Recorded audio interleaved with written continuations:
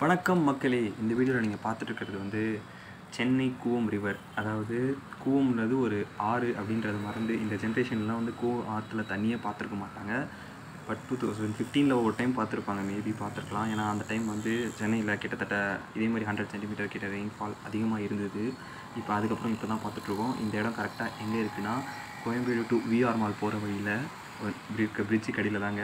இது இந்த அளவுக்கு வந்து இந்த இடத்துல யாரும் தண்ணி பார்த்துருக்க மாட்டாங்க. ரீசெண்ட் டைம்ஸில் ஒரு லாஸ்ட் டென் டு ஃபிஃப்டீன் இயர்ஸில் யாரும் பார்த்துருக்க மாட்டாங்க. கிட்டத்தட்ட ஹண்ட்ரட் இயர்ஸாகவே வந்து இந்த அளவுக்கு ரெயின்ஃபால் கிடையாதுன்னு சொல்லிட்டு நம்ம தமிழ்நாடு வெதர்மேன் வேறு சொல்லியிருக்காரு.